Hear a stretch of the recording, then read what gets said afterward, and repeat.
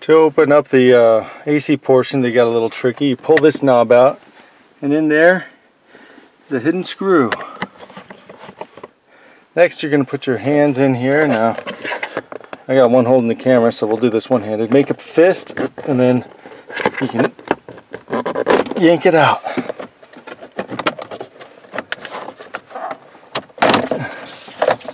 Comes out that easy.